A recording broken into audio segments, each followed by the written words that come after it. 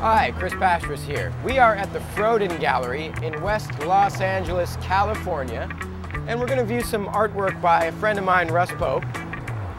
We're going to see some artwork by Tim Kerr, and we're going to listen to some music by none other than Ray Barbee. So let's see what's happening.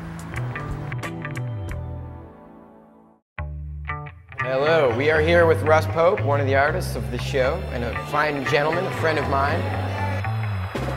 You guys made this stuff for this show. This Yeah. is like, It- both of us is all Yeah. new works made just for this show. wow. And I take it seriously. I mean, I went to school, you know, fine art, uh, and studied in fine arts, and I've done uh, the artwork, you know, pretty much my whole life. And Yeah.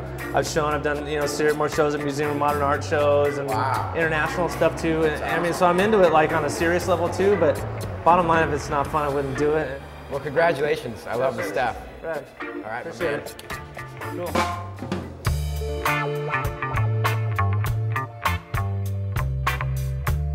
These are obviously people that are inspirational to you, or just Yeah, I mean, interesting subjects, or what? No, it's pretty much inspirational, and it's kind of it, it's kind of the idea that you know. I mean, a lot of people I probably think it's sort of corny, but it's the whole idea that somebody like Rosa Parks wasn't.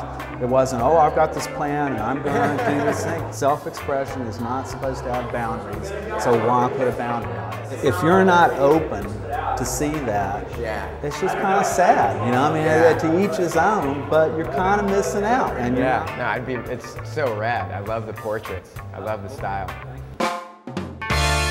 Oh, well, that about wraps it up. Another installment of What's Happening with me, Chris Pastras. We saw some good art. And uh, now Ray Barbee's playing in the background. I'm going to go back there, have some adult beverages, and possibly, if I have enough of them, buy some art. That's what's happening. Peace.